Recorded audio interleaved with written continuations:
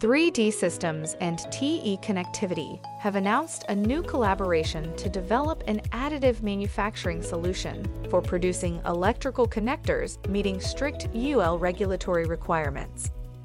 The solution includes 3D Systems Figure 4 modular technology, a newly developed photopolymer material, and 3D Sprint software.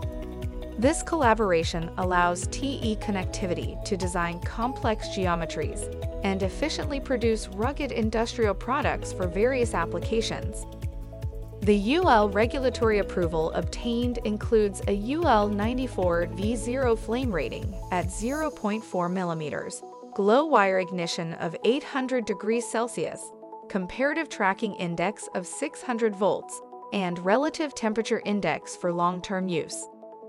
Reji Puthenveetil, Executive Vice President, Industrial Solutions, 3D Systems stated, Our materials scientists and print process experts worked very closely with the TE team to formulate a material that, when used in conjunction with our Figure 4 technology, delivered on the high quality, high reliability standards their customers have come to expect.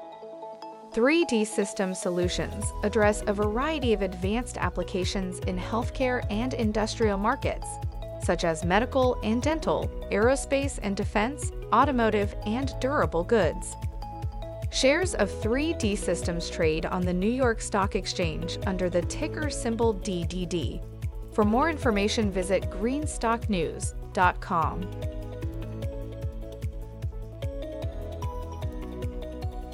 Thanks for watching Green Stock News. If you like the video, please hit the like button.